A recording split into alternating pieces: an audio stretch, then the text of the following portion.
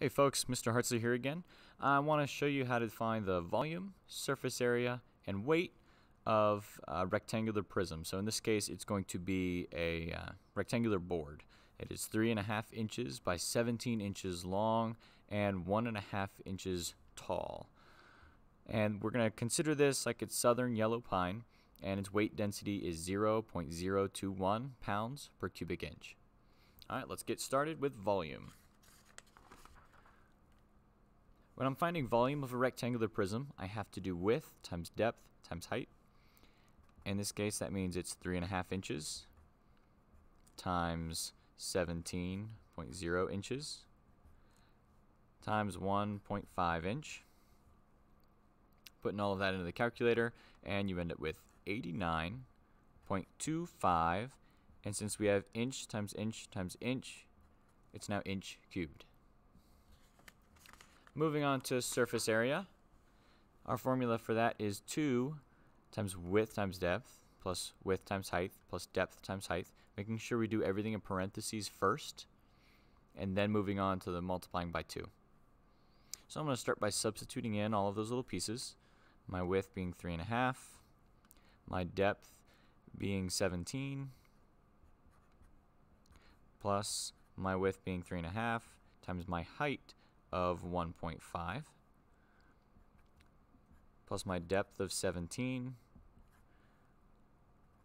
times my height of 1.5. Now I have all of those little pieces plugged in.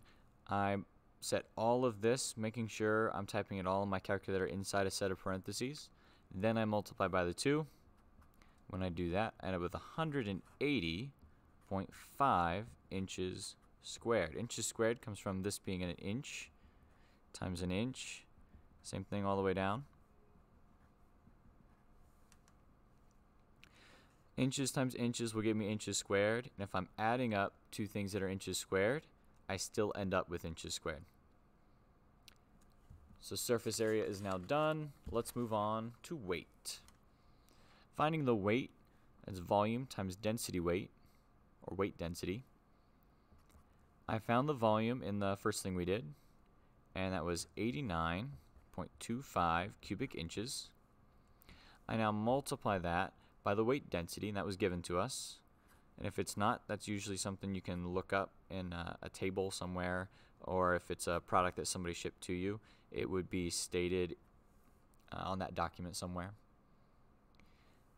Inches on top, inches on bottom, so they're going to end up canceling and that gets you 1.874 pounds. So that is finding volume, surface area, and weight of a rectangular prism.